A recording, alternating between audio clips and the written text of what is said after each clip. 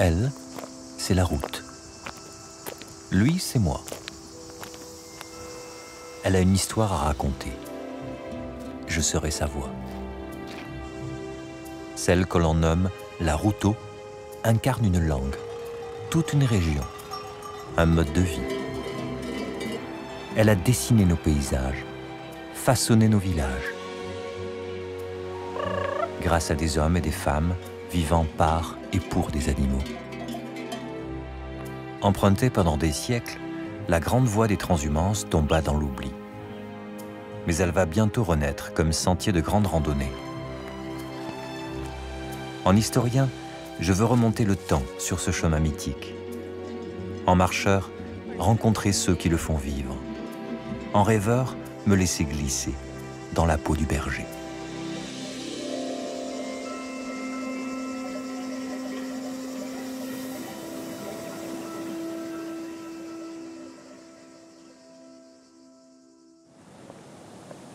Je m'appelle Antoine Debac. Je suis né à Paris. J'ai une passion intime pour la marche et je trimballe un vieux rêve de gosse, celui d'être berger. Or la vie fit de moi un historien, écrivain, prof d'histoire du cinéma. Si je foule aujourd'hui les bords du Rhône, c'est parce qu'il m'a été donné une chance fabuleuse, celle de refaire la route des grandes transhumances, vers ces montagnes où enfant, j'ai rêvé d'une autre vie. Et cette aventure, j'en ferai un livre. Je partirai d'Arles, aux portes de la Camargue, jusqu'en Italie. La route traverse la plaine de la Crau, les Alpilles, la vallée de la Durance, la Haute-Provence, la vallée de l'Upaille. Elle plonge enfin côté italien jusqu'au village de Ponte Bernardo. Trois semaines et 450 km à pied. Avant mon départ demain, voyons d'abord si cette ville porte en elle quelques traces du mouton. Rien ne semble présager d'un lien entre la ville d'Arles et les transhumances. Je vois mal des moutons se battre dans les arènes, des béliers à la rigueur. Pourtant l'histoire nous dit que c'est bien le mouton, et non le taureau, qui fit la richesse des Arlésiens les capitalistes, comme on les nomme ici. Capitaliser, avant d'amasser des billets, voulait dire accumuler des têtes de bétail. Jusque dans les années 60, les éleveurs d'Arles, regroupés en syndicats, produisent la laine mérinos, qu'ils stockent ici, dans une église désaffectée. Cette fameuse laine est issue du mérinos d'Arles, une race de moutons créée il y a deux siècles par le croisement d'un bélier espagnol avec une brebis provençale. Quoi d'autre? Ah si, une légende. Juste après la mort du Christ, un homme nommé Trophime entre dans Arles et se présente comme le patron des bergers. Rome, qui ordonne d'évangéliser la Gaule, utilise ce séduisant récit et le fait graver en bas-relief. Le cinéma du Moyen Âge. Il faut vraiment aller derrière les, colonnes où on voit euh, une scène très réaliste d'un berger appuyé sur son bâton qui garde ses, brebis. Elles sont très très bien sculptées. Et on est vraiment devant quelque chose de très réaliste qui évidemment ici à Arles résonne euh, immédiatement avec euh, la présence des moutons et des bergers depuis des centaines et des centaines d'années. Un entrepôt de laine et un bas-relief, voilà bien peu de traces du mouton. Intrigué, j'ai pris rendez-vous avec Jean-Claude Duclos, un collègue historien. Il saura, j'en suis sûr, m'en dire davantage sur la fameuse route. Bonjour Antoine. Heureux de vous voir. Vous allez bien? Ça va très bien, merci. Jean-Claude m'avait promis un livre. Cet ouvrage réédite un reportage de 1951 commandé par le National Geographic. Ces images exceptionnelles tombent dans l'oubli aux archives de Marseille. Alors que le photographe accompagne les bergers, il ne sait pas qu'il sera le dernier à faire des images de la grande transhumance. Une interdiction brutale retire aux bergers le droit de la faire. Ces photos deviennent l'unique témoignage de la route des bergers. Le photographe Marcel Cohen était l'ami de Jean-Claude. Peu après la parution de cet ouvrage, là, il m'écrit une belle lettre que je peux vous montrer, là, Ah, dans lequel euh, il, il raconte effectivement combien ces moments ont été importants dans sa vie. Quoi. J'en lis un petit bout. euh, Ces photos ont été faites dans la douleur. La route des transhumants est dure pour les non-initiés à cette épreuve. Par ailleurs, j'étais heureux parmi ces gens simples menant leurs bêtes à la montagne. La marche lente, la musique de toutes ces cloches et clochettes vous fait baigner dans un monde irréel et vous coupe littéralement du reste de l'existence. Pour les bergers, cette musique et cette ambiance, c'est leur réalité, gens rudes et honnêtes. Si donc vous avez trouvé ces photos belles, j'en suis heureux. Je n'ai eu en somme aucun mal à les faire. Tout le sujet me prenait à la gorge. C'était pour moi un amusement, jamais un travail. La transhumance était la respiration de la ville. Avant le départ de juin, par exemple, une foire extraordinaire se tenait sur le boulevard des Lys. Le bar du marché, c'est le bar des éleveurs et des bergers. C'est le bar des, des gens du mouton. Enfin, c'était, parce que Ouais. maintenant, malheureusement, Oui. ça l'est plus.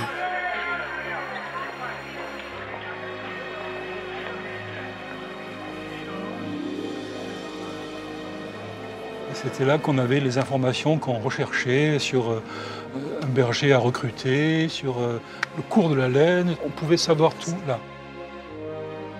Le boulevard retrouve sa couleur, mais perd ses bergers. Pour moi, Arles est une cité compacte, un peu comme Paris. En réalité, c'est un immense territoire qui se déploie hors les murs. Et il se découvre à pied en prenant la grande route des bergers.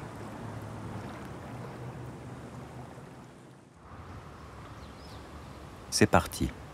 Short, bob, sac à dos. Ce ne sera pas une recherche sur l'esthétique du marcheur, je m'en excuse, mais un équipement confortable et fonctionnel.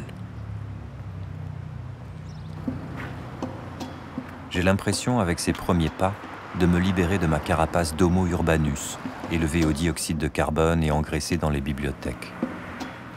Je revis. Mais c'est quand même une aventure qui commence. Première étape, et pas des moindres, sortir d'Arles.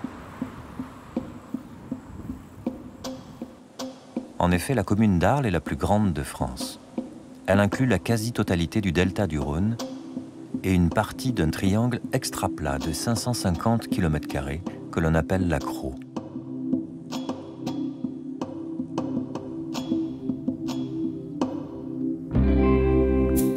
Sur cette steppe pierreuse, je foule encore le territoire arlésien et découvre enfin les moutons.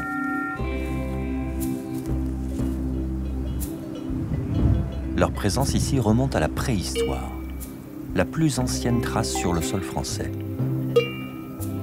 C'est du moins ce que prétend un passionné de la Crau qui découvre dans les années 90 un site archéologique majeur. Il s'appelle Othello. C'est quoi ce. Ouais, pour moi, c'est un- une sorte de tas de pierres, mais c'est. Non, non, non. Ça, c'est les soubassements d'une petite cabane qui est juste à poser devant la grande bergerie, qui servait pour déposer le matériel, le bas de l'âne, le matériel, le foin. Là-dedans, on a trouvé une pierre à aiguiser. Je pense que c'était pour euh, tondre les, les- les moutons. hein. Et Voilà. ça date de, de quand, tout ça? Ben, tout ça, c'est deuxième siècle après Jésus-Christ. Je peine à visualiser. Du sol, on ne voit presque rien. Or, il y a bien une construction de 50 mètres de long par 10 de large. En grenouillant, comme il dit, Othello découvre plus de 300 bergeries. Grâce aux fragments de poterie, les archéologues valident qu'il s'agit de constructions romaines, alors que d'autres bergeries sont datées du néolithique, il y a environ 7000 ans. Othello a l'intuition qu'il doit y avoir des puits pour abreuver les moutons. Il cherche encore et en découvre 25. Aujourd'hui rebouché, il descendait à 9 mètres sous la taparasse de galets. Et c'est toi qui as dégagé le, le puits euh, Personne ne l'aurait vu. hein. Si Ouais. je n'aurais pas dégagé, personne ne l'aurait trouvé. D'ailleurs, personne ne l'aurait trouvé. hein. Parce que déjà, que quand euh, j'ai disais qu'au berger que là, il y avait un puits, il me prenait pour un fou, là, le berger à côté. Là. Alors j'ai dit, mais attends, je vais te faire voir, je vais prendre le pigeon. J'ai un peu gratté. Quand il a vu le cercle, il me dit, mais tu es un sorcier. Un sourcier. un sorcier. Je n'aurais jamais imaginé que cette terre si désertique et inhospitalière puisse révéler tant d'histoires.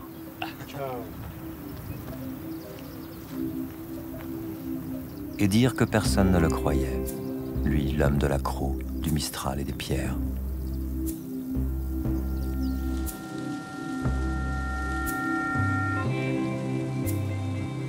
Les éleveurs du néolithique, de l'époque romaine et nos contemporains l'avaient bien compris. La richesse de la croix, ce ne sont pas ses cailloux, mais l'herbe. Cette matière première pour l'élevage a la particularité de pousser l'hiver et d'être d'une grande qualité nutritive. On l'appelle le coussou. L'été, en revanche, il sèche à vue d'œil, tandis qu'en montagne pousse un foin plus vert c'est l'appel de l'herbe. Il faut changer de terre, dit autrement, transhumer.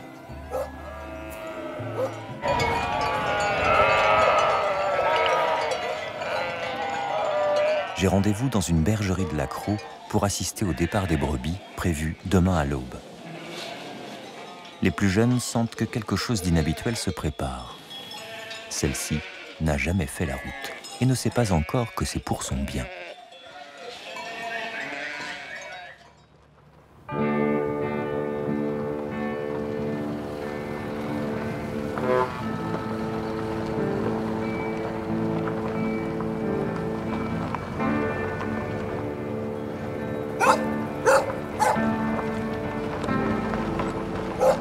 5h30 à la bergerie de l'Opéra, au cœur de la Croix. Depuis l'interdiction de transhumer à pied, le propriétaire du troupeau doit faire la route en camion.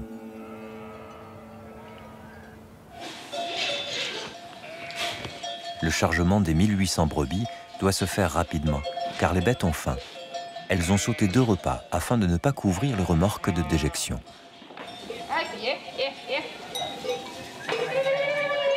Un couple de jeunes bergers a veillé sur elles au quotidien pendant trois mois. Ce matin, il leur faut s'en séparer le plus calmement possible, alors que leur vie va changer brutalement.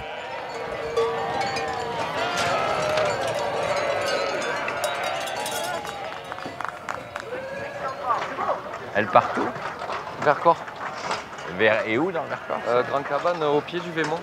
Ah bah c'est exactement là où moi je, ado, gamin, je, je voyais les bergers travailler, Ah les- ouais, exact, sous le Grand Vémont quoi.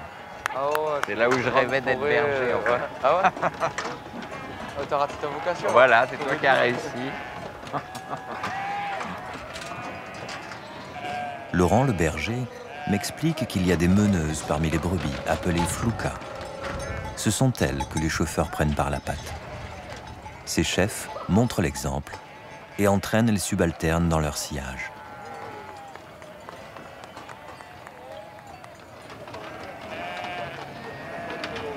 C'est très fort parce que c'est. Voilà, ça se fait d'un coup quoi. Puis, euh, on sent qu'elles. euh, hésitent et puis en même temps, euh, dès que ça monte, euh, tout le monde suit comme ça, c'est impressionnant.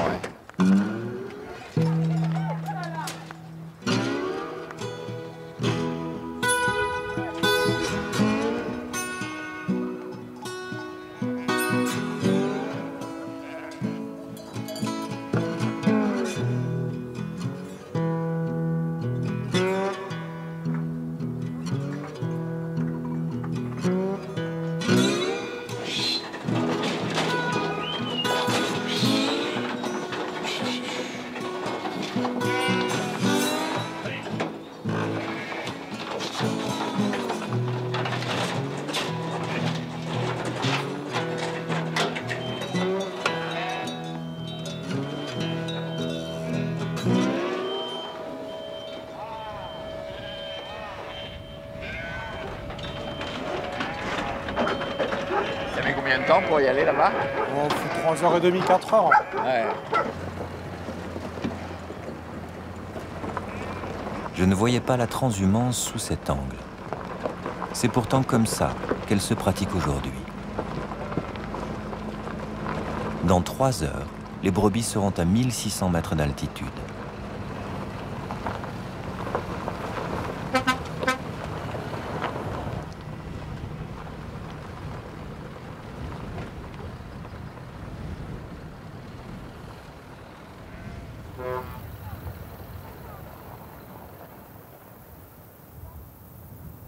D'un coup, la bergerie s'est vidée. C'est un vieux rêve de Laurent de faire la route à pied avec le troupeau. Si tu l'as pas vécu une fois, t'as raté un truc quoi. Et pourquoi tu, tu voudrais faire ça? Parce que c'est énorme, tu vis avec les bêtes, euh, tu promènes, euh, tu... c'est- c'est- tu trimbales ton troupeau quoi. T'as t'as toute ta vie là, tu la trimbales avec toi. Et t'es le roi du monde quoi. Tu passes partout, tu bloques les voitures. T'es t'es le roi quoi. C'est les brebis avant tout. ouais. La route. Ouais, la route. Non, la route, faut le dire avec le roulement de R, non Ah ouais, mais moi je sais pas, moi je sais pas. J'apprendrai à la fin. Mais écoute, régale-toi bien. Laurent. hein. Vois plein de choses, Ah euh, ouais, plein d'émotions. Et... je vais voir d'autres bergers. Ouais, Je leur te passerai régaler. Ouais. le bonjour de ta part. De l'accro. Exactement. Salut. Merci. Allez. Bonne route. Merci.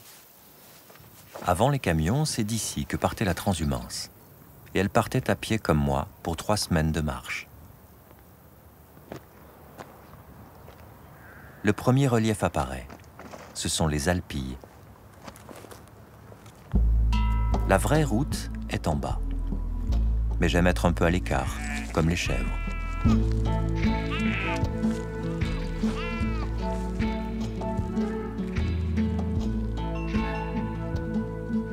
À l'époque, les moutons longeaient le pied de cette chaîne de collines pour éviter d'endommager les cultures, tout droit vers les villes de Salon et Aix-en-Provence.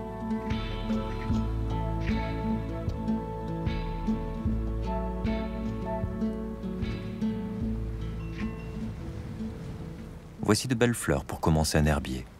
A-t-on le droit de les cueillir? Il paraît que le cyste pousse quand la terre a brûlé. Un phénix du monde végétal.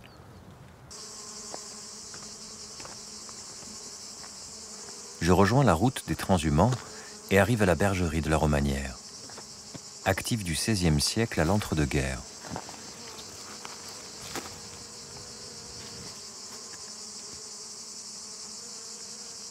Elle servait d'abri contre le mauvais temps et les prédateurs à quelques 600 moutons.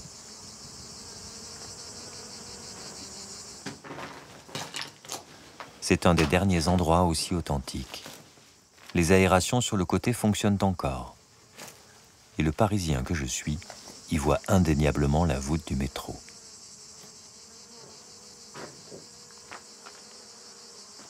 Tiens, ce serait intéressant de vérifier ce qu'Othello disait à propos des puits. Allons demander à cet apiculteur. Bonjour. Bonjour. Vous savez où il y a un puits lié à la bergerie? Ah, vous brûlez là Ouais. Oui, c'est par là, c'est ça? Oui, il est juste là derrière là. Ouais. D'accord. Il n'est plus en service. Othello avait raison. Quand il y a une bergerie, il y a un puits à proximité. Ah oui. Celui-ci est vieux de 4 siècles. Il y a bien 10 mètres, non? Peut-être pas, mais pas loin. Ouais, ouais. Et le fait de ne pas tirer l'eau euh, contribue au fait que ça sèche en fait. Parce que plus on tire l'eau, plus elle vient. Plus elle- Donc en fait, il est pas sec. Il, il il, pourrait. est, il- voilà, il est en sommeil. Voilà. Ouais, ouais, ouais. Les butineuses et les brouteuses ont beaucoup en commun. Autrefois, les abeilles transhumaient à dos d'âne, aux côtés des moutons. Aujourd'hui, le cheptel d'abeilles suit lui aussi la floraison des plantes qui se décale en fonction de l'altitude. Ici, en fin février, début mars, on a déjà des conditions de printemps. Avec euh, de la floraison, du romarin, le, cyste. Et quand ça se termine, on va bénéficier des floraisons plus haut, le pissenlit, les colzas, bientôt les acacias. Qui l'eût cru? Des transhumances d'abeilles. Encore une fois, tout revient à nos moutons, les plantes, les saisons, la route.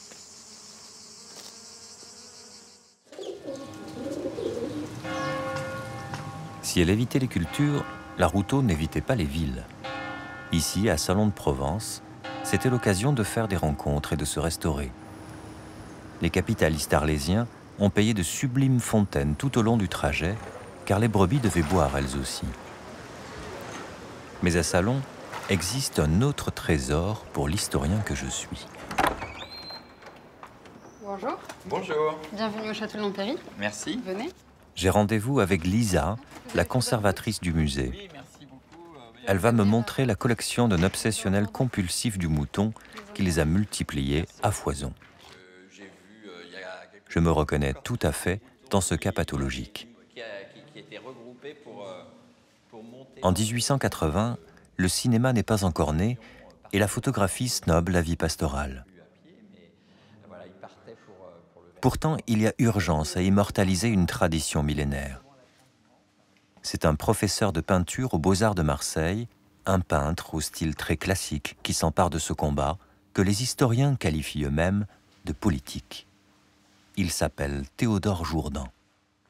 Il y a un sens politique puisque pour Jourdan, c'est montrer que la peinture animalière, elle peut être représentée en très grand, comme la peinture d'histoire par exemple, et on a chaque mouton qui va être individualisé.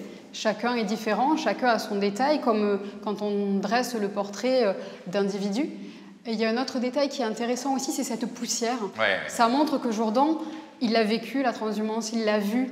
C'est politique, c'est-à-dire que voilà, je donne leur fierté aux moutons, et ces moutons, euh, bah oui, c'est le peuple, c'est le peuple en marche.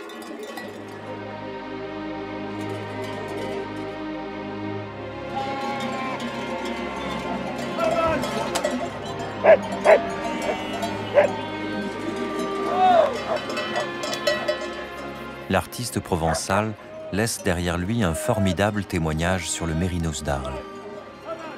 Mieux, il fait don de ses toiles au musée de l'Empéry, comme pour s'assurer que la mémoire de la Routeau, des moutons et des bergers ne disparaissent pas sous la poussière.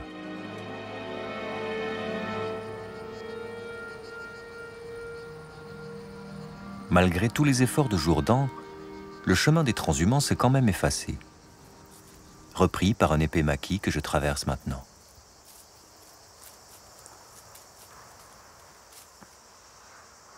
Dans ce dédale, un fin connaisseur de la route doit me rejoindre avec une surprise de taille dans tous les sens du terme.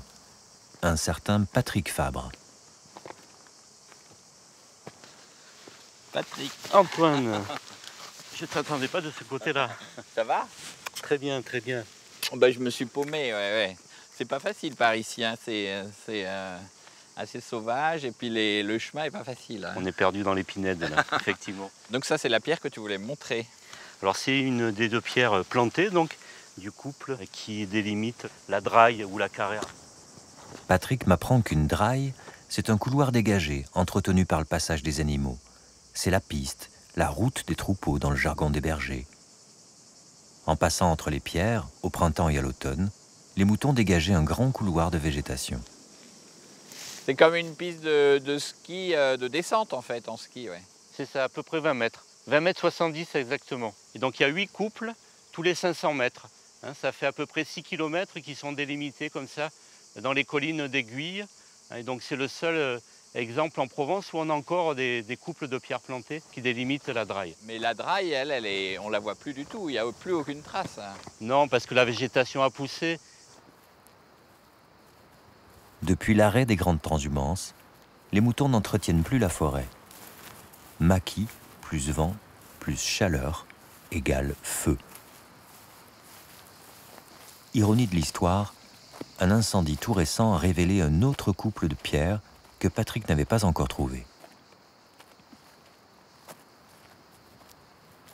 Pourquoi y avait-il des bornes sur cette colline et pas ailleurs, dans la ou les Alpilles par exemple?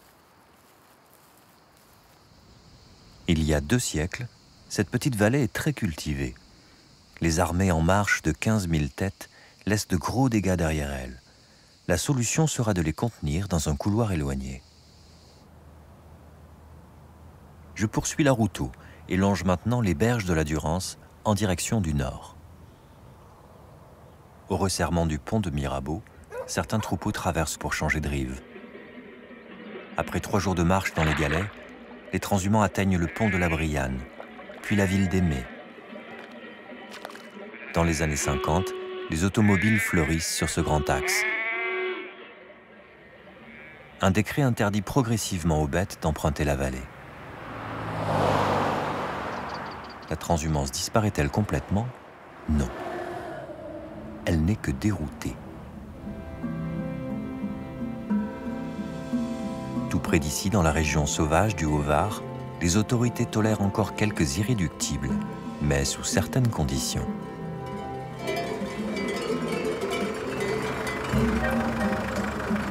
Le berger Alphonse Lopez vient de démarrer avec son convoi exceptionnel de 1200 brebis en direction des alpages.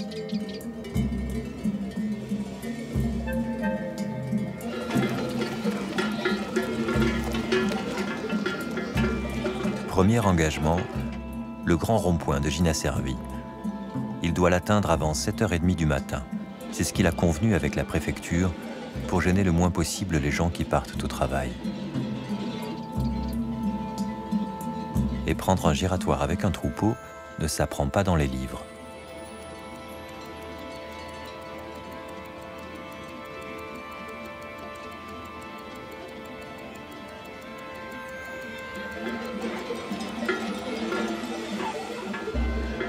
Opération plutôt réussie, même si ça déborde un peu.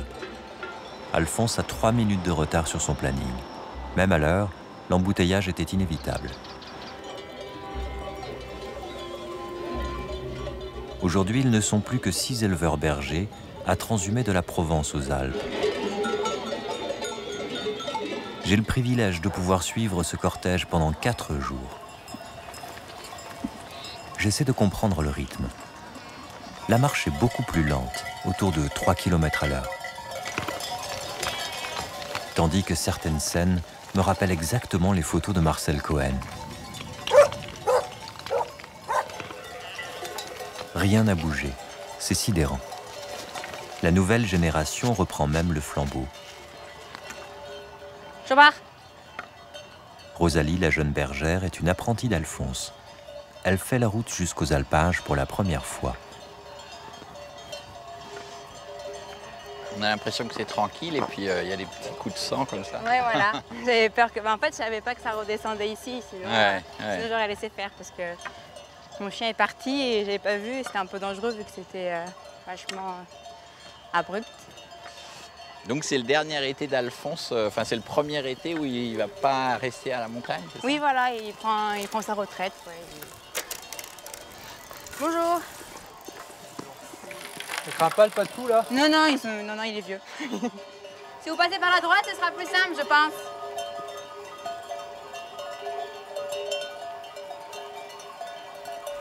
On est dans le même état, mon vieux patou. Tous les deux un peu crevés là. Il fait chaud, hein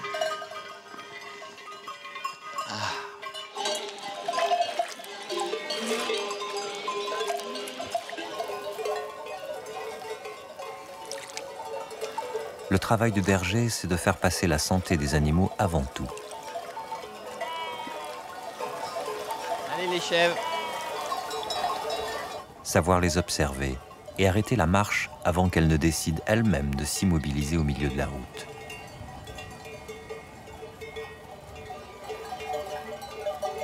À chaque étape, Alphonse appelle les propriétaires des terrains sur lesquels il a convenu d'arrêter la caravane. Vous auriez été là une heure avant, ça aurait été mieux. C'est vrai? Les bêtes, ça crée de la chaleur. Ouais, ouais. Entre 10h du matin et 17h, les bêtes ruminent ou dorment. La tête à l'ombre, debout ou allongée. Elles chôment. C'est d'ailleurs l'origine du mot chômage.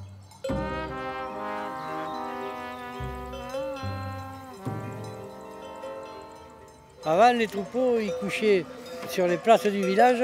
Là où il y avait les fontaines Ouais, et les gens, le matin, quand le troupeau partait, ils se bagarraient pour ramasser le fumier, pour ramasser le migot. Et maintenant, s'ils pouvaient nous jeter des pierres, pour pas qu'on passe. Mon père il disait que c'était pas un métier, il voulait pas que je le fasse. Ah oui, c'est ça. ouais. Et un beau jour, euh, j'ai- j'ai tout envoyé en l'air et je me suis mis à faire ça. À quel âge? Oh, je devais avoir 20 ans. 20 ans, ah oui. Vous avez fait d'autres métiers avant? Ouais. C'était quoi? Boucher charcutier. Boucher charcutier. Ah bah alors euh, vraiment le gigot vous connaissez. Euh, J'apprécie pas quand les chiens le bouffent. Ah bah ouais, j'en ai vu un tout à l'heure, il est parti avec le, la tête. Bah, c'est pas la faute du chien, c'est la faute du mec.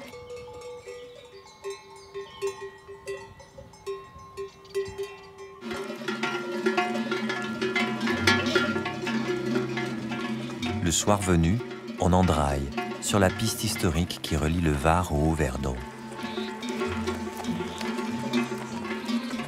Un espace qui n'a pas bougé depuis des siècles, au milieu d'une nature sauvage, loin de toute civilisation.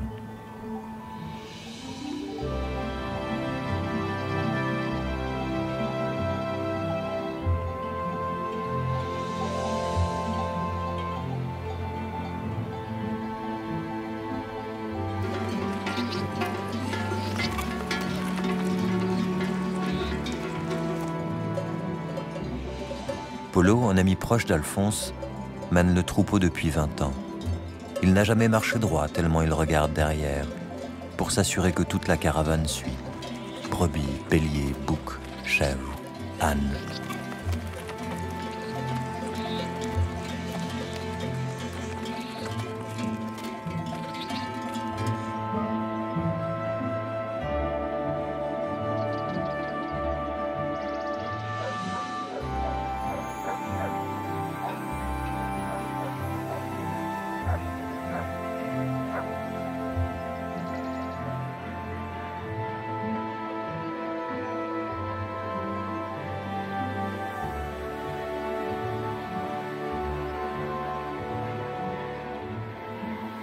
Parcourt 10 km le matin et 10 km en fin de journée, jusqu'à la nouvelle étape du soir, la couchade.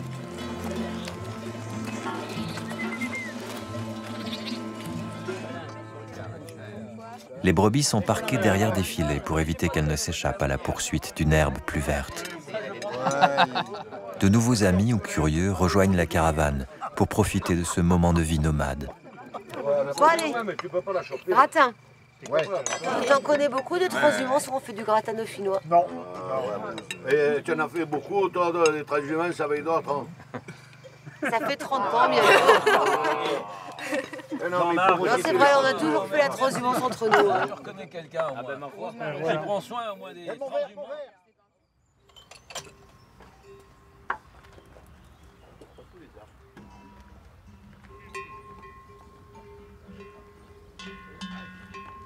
Ça a beaucoup aboyé cette nuit.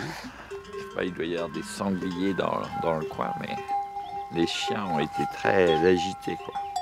Mais c'est beau quand même de voir euh, le troupeau qui, qui, qui est un peu dans le même état, quoi, qui se réveille aussi un peu, un peu pâteux.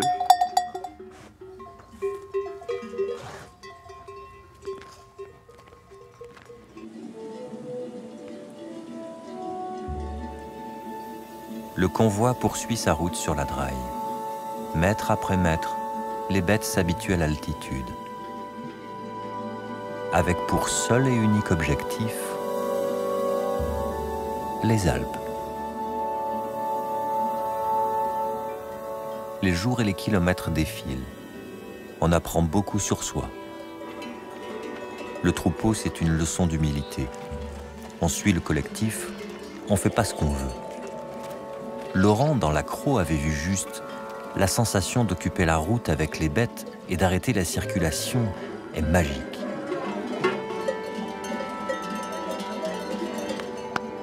On se sent puissant.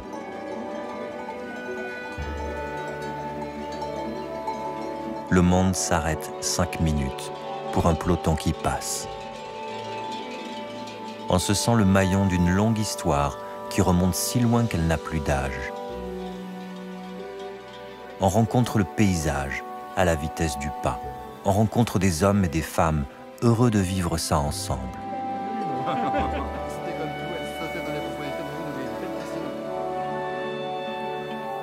La beauté est là, tout autour de nous. Ralentir. C'était si simple.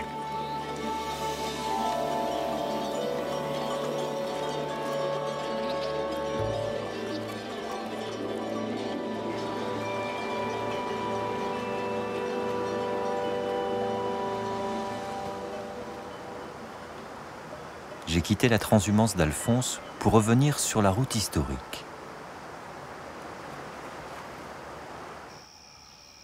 Un peu de confort dans une chambre d'hôte.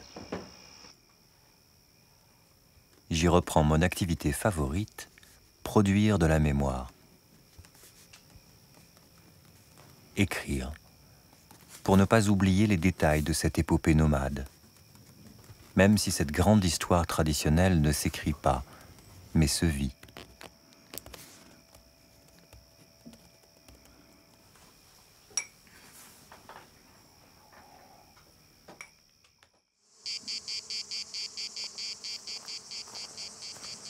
Nouveau décor, nouveau son, nouveau parfum.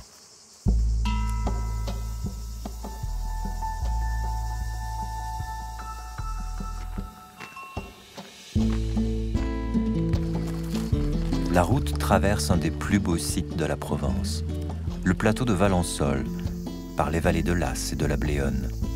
Peu après Digne, j'atteins le premier passage alpin à 1200 mètres, le col du Labouret.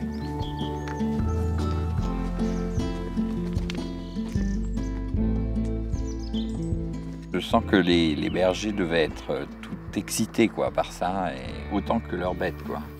Elles voient l'herbe beaucoup plus verte, elles sentent euh, que ça devient plus frais. Une bête et un, homme, ça monte pas pareil. Les moutons, ils aiment monter droit dans la pente, et les hommes, ils aiment euh, quand même euh, faire des zigzags. La transhumance, c'est une sorte de négociation permanente entre ces deux manières de marcher. J'ai gardé de la transhumance avec Alphonse un goût pour ce rythme décalé. Reprendre la route le soir à la fraîche, quand la lumière sublime les paysages.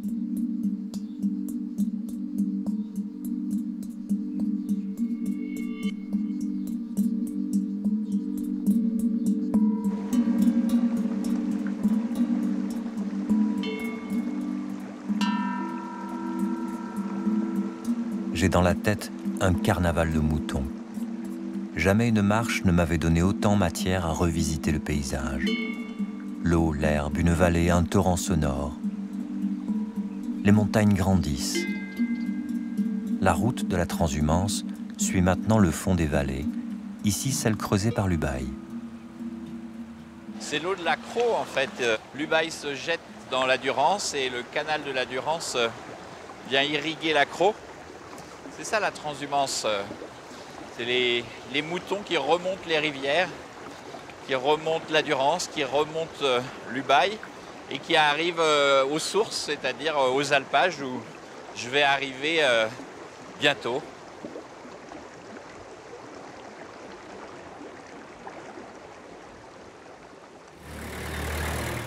Barcelonnette, Barcelonnette. Dernier arrêt et derniers achats avant les alpages. En effet, il faut faire ici ces dernières emplettes avant de partir loin des commerces. Ah, les joies de la ville.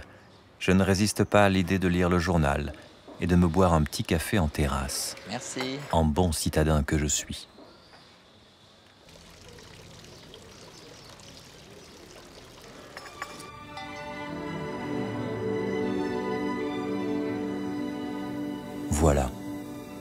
Voilà pourquoi les brebis transhument. L'herbe. Il y en a partout.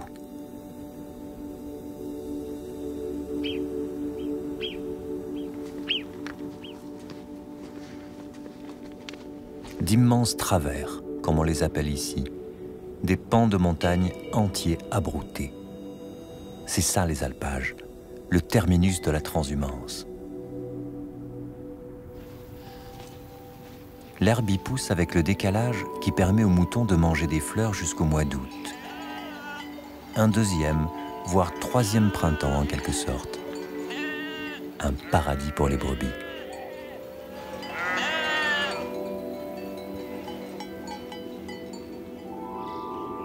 Voici le vallon du Pis, un territoire de 7 km, soit 700 stades de foot à brouter. Tout juste assez pour nourrir 1200 brebis pendant 4 mois. Tout le vallon appartient à des propriétaires privés. Ils le louent à un éleveur pour nourrir les bêtes. Elles entretiennent en échange la végétation, mais il faut les garder. C'est le travail d'une seule personne, le berger. Voici Laurent Ripper. Il a accepté que je partage sa vie pendant 24 heures. Là aujourd'hui, on va, il y a un petit coin de pâturage qui est juste à côté et où c'est tout net. Ouais, c'est, ouais. net, c'est-à-dire je suis pas encore allé. D'accord. Ouais. C'est plein de fleurs, c'est... Donc, Donc, euh, elles auront vite fait de se faire le ventre, de ouais. se gaver quoi. Bon, on va se prendre un peu d'eau, une petite laine. Les brebis filent tout droit dans les éboulis. Laurent et moi prenons un accès plus facile. Car le premier enseignement du berger, c'est de s'économiser. Là, on part euh, pendant combien de temps ce soir. Jusqu'à 8 heures. 8-9 heures, ça Ouais. dépend des jours. On va contourner un peu, aller se poster un peu sur la bosse là. Comme ça, on va se trouver au-dessus du troupeau. Et le troupeau, il va apparaître euh, là, là Et le troupeau devrait arriver dans ces, dans ces creux là. Ouais. Enfin l'alpage et l'herbe délicieuse pour les brebis de Laurent. Elles sont elles aussi arrivées en camion il y a huit jours, les tricheuses. Difficile de s'imaginer le choc en passant de la plaine de la Croix, son herbe sèche et ses cailloux, à ses pentes, ses fleurs, et tant à manger. Justement, il faut gérer l'herbe avec le seul outil à la disposition du berger, le chien. Ouais, on va renvoyer un peu les chiens parce qu'il y a des coquines qui ont envie d'aller direct au quartier d'août. C'est bien, avance à droite. Avance à droite. Tu peux lui parler presque à. En parlant en normalement, basse, le chien ça. il t'entend Ouais. vraiment Ouais. très loin. Ouais, ouais, ouais, ouais. ouais. Et du coup, c'est très. bah, Il y, a il y a quelque chose de très fraternel, un peu d'amical avec le Ah chien. ouais, c'est même plus que ça parce qu'il y a une telle complicité que par exemple avec Maca, la vieille chienne, euh, bon en plus ça fait 20 ans que je viens là, du coup elle aussi elle fait la même montagne tous les ans, Elle etc. connaît par cœur. Elle connaît un peu par cœur et du coup c'est quasiment de la télépathie. quoi. Ouais, ouais, Un ouais. petit signe, un petit rien que ma façon de bouger, ma façon de me déplacer, la chienne elle va anticiper, elle sait ce que je vais faire, où Mm. je vais aller me placer, ce que je veux faire. Quoi. Ouais. Du coup. Non, c'est impressionnant. hein. Voilà. Après avec les jeunes chiens c'est plus délicat. Quoi.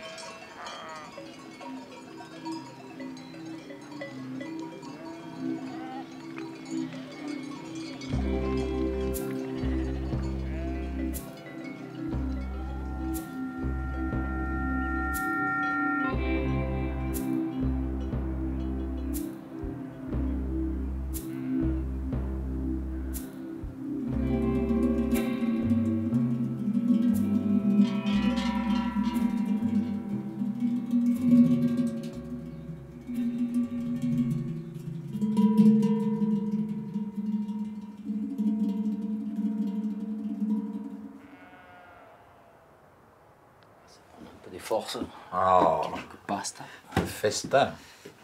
Laurent est un Parisien de la banlieue. Il ne s'y sentait pas bien. Le déclic, ce sera une rencontre avec un berger. 25 ans plus tard, il est lui-même une figure de la région. Un homme bien dans sa peau, pris pour modèle par les jeunes stagiaires qui hésitent à s'engager. En voyant un certain nombre de, de bergers que j'ai pu rencontrer, chacun un peu a cette personnalité qui s'incarne dans un look un peu particulier. Oui, après c'est vrai que les bergers dans l'ensemble Sont des gens qui sont un peu différents. Quoi. Et toi, tu as, l'impression de t'être trouvé en fait. Ah oui, complètement, ouais. Mhm. Ah oui, moi je me sens vraiment berger et c'est moi, quoi. Je me verrais pas faire autre chose, quoi. Mhm. D'ailleurs, les premières années, je faisais sans arrêt ce rêve que j'étais dans Paris avec le troupeau. Tu, tu arrivais en transhumance euh, dans Ouais, je sais Paris. pas, je me retrouvais dans Paris en galère avec le troupeau et, euh, et c'était l'enfer, quoi, parce que ça descendait dans les sous-sols, ça prenait les ascenseurs. Ça... Donc c'était un rêve, mais aussi partout, un, C'était l'enfer, quoi. un cauchemar. En fait. Ah, c'était plus un cauchemar. Ouais, peu. Moi aussi, j'avais un rêve, celui d'être berger. Or, je suis devenu le mouton d'une herbe plus urbaine, plus savante, se disant normale et supérieure. Hum, Après, il n'est jamais trop tard pour faire berger. Hein. Moi, je suis prof, euh, donc euh, bon. Alors l'été, je- j'ai pas d'étudiants. Ah, ouais. Et puis euh, bon, j'ai une famille qui, voilà. Qui suivrait pas forcément. Non, non, non, pas forcément. Ça fait maintenant euh, presque trois semaines en fait hein, que je suis parti. Donc j'arrive au bout de cette expérience. Je me dis pas que je vais devenir berger, mais je me dis que je les comprends mieux, quoi. Je comprends ce qui m'a fait fantasmer quand j'étais Eh gamin. Voilà.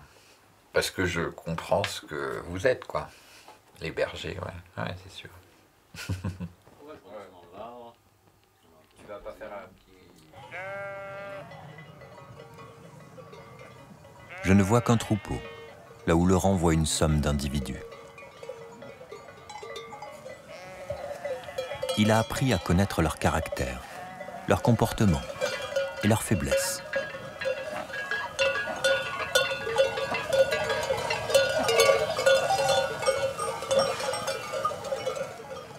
Ça, c'est quoi? Début de mamite, c'est à peine le début? Donc ça, ça vient comment, une mammite Et eh ben ça, c'est la brebis qui est pas cet été. Ah ouais? Parce que là, c'est la montagne, elle mange riche et tout, il y a plein de fleurs et tout, donc euh, elles ont de plus en plus de lait. Et les agneaux qui grandissent, ils mangent de plus en plus d'herbe. Et de moins Surtout en moins quand c'est bon. Et voilà. Et de moins en moins de lait, donc... Euh.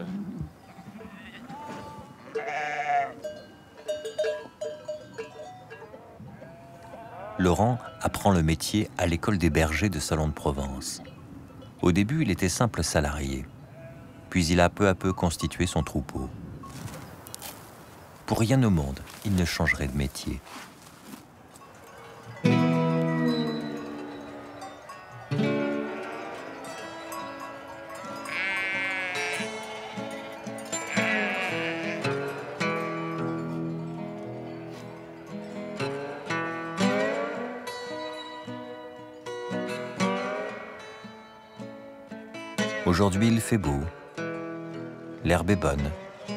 Mais la vie de berger, ce n'est pas toujours cette image de rêve.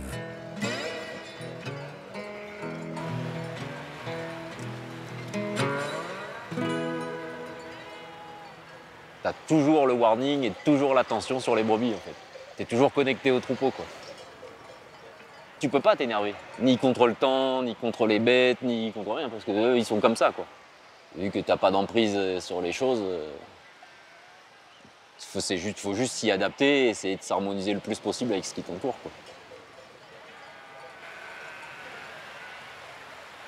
Même quand tu fais rien, il se passe des trucs quoi. Et en fait, ne rien faire, c'est prendre la décision de rien faire. Donc c'est quand même faire l'action de rien faire. Chaque instant, quand tu es en montagne comme ça tout seul, et chaque instant est super puissant. Quoi. Chaque instant est super fort, même quand il fait des orages pas possibles et tout, t'en chies un peu. Des fois, t'as un peu peur et tout, mais, mais c'est à chaque fois du plaisir quand même. Quoi.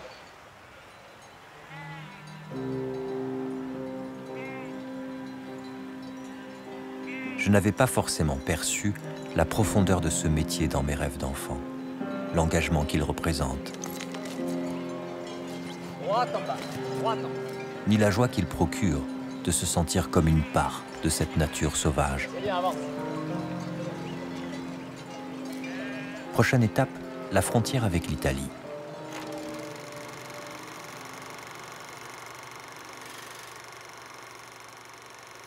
Les bergers ne quittent pas la France pour se rendre en Italie, mais au contraire rentrent chez eux. Car la majorité des bergers que l'on embauchait au bar du marché d'Arles venaient du Piémont. Mario Giavelli est l'un des derniers à avoir fait la routeau et à s'intéresser à la mémoire de son métier. On est un peu tous les deux historiens. Voilà. Ça existe une frontière quand on est berger? Ben oui, à ce moment-là, ça existait surtout pourquoi euh, ils devaient compter les troupeaux, faire les paperasseries de douane. Côté Ah oui. français, côté italien, il fallait verser une caution qu'on récupérait le tonneau quand on, on sortait avec le troupeau. Il fallait avoir à peu près le même nombre Non, de non, bêtes. pas à peu près. Il fallait. Exactement le même nombre de bêtes. La faria in calo volentieri e lo- la bello, rutto per Eh, no, per provare. completo. Per, per provare, per fare una, una vacanza un po' fuori dal normale. Ma me, me troppo, me svesti, eh. Sì, c'est una cosa che può essere interessante. Justement, il sera possible de la refaire. Car la Routeau va devenir d'ici peu un sentier de grande randonnée, le GR 69 La Routeau. Il ne passera pas la frontière avec les voitures au col de l'Arche, mais prendra ce vallon parallèle par le col de Roburent, la route des contrebandiers qui évitaient la douane.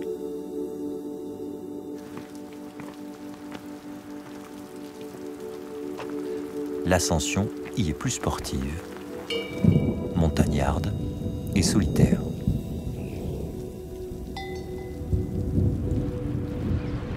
L'impression que c'est le vent de l'accro qui me suit jusqu'ici, jusqu'au col du Roburent.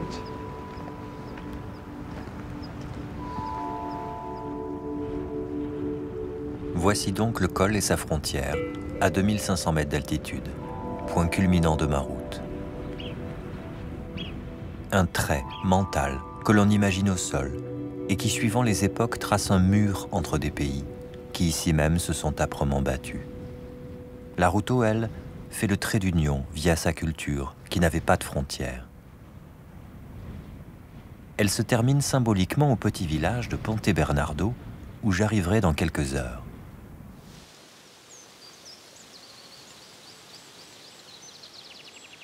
Le GR descend inlassablement dans la vallée de la Stoura.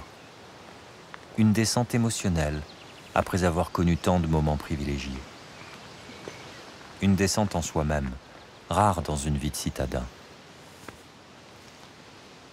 Pour moi, marcher, c'est méditer. Prendre le temps de me demander si je suis pas trop dans le troupeau, si je suis assez disponible à la vie. C'est bien quand les rêves restent des rêves finalement. Pourquoi faudrait-il toujours les réaliser? Je suis pas berger, mais j'ai appris. Bref, ça y est, elle est faite, cette route. Voilà, le... ça sonne pour moi, j'ai l'impression. C'est... le bout du chemin. Une fois qu'il est fait, c'est pas comme les bergers euh, d'autrefois qui le refaisaient tous les ans. Moi, je l'ai fait une fois et je l'ai fait pour toute ma vie, en fait.